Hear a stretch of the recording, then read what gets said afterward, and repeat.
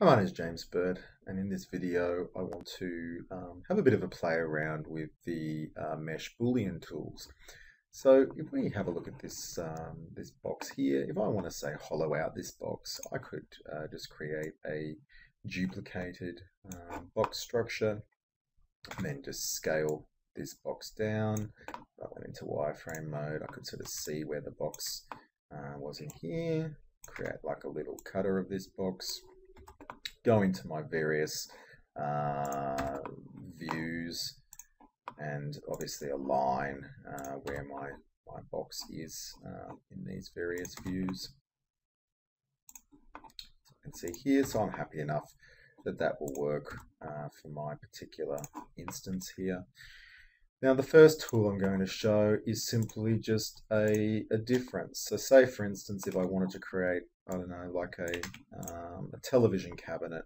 So let's say uh, that can be sort of the central part of the TV cabinet. Might move that up a little bit, something like that.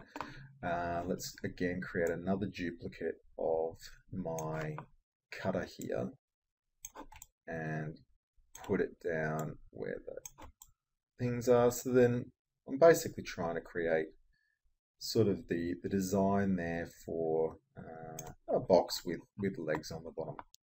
So now I can go through a process of going the object that I want to apply the cutter to.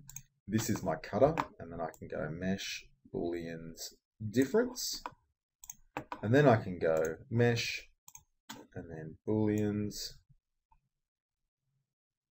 difference.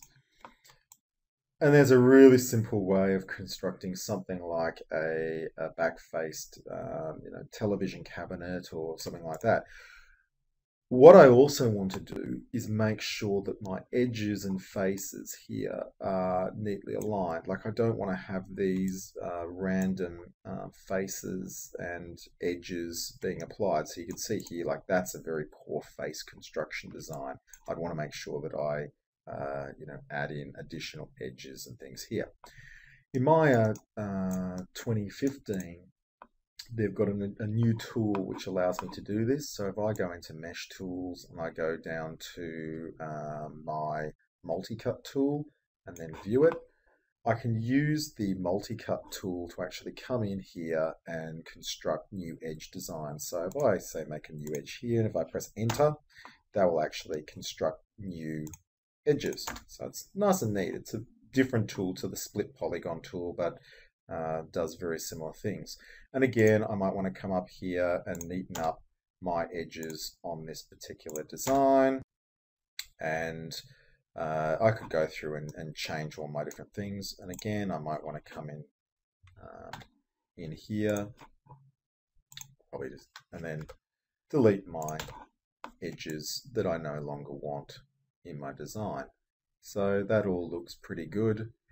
And there's a, a simple um, construction of a, could be a, a drawer, a cabinet, a um, television stand, etc., utilizing some Boolean and also some uh, multi-cut edge tools.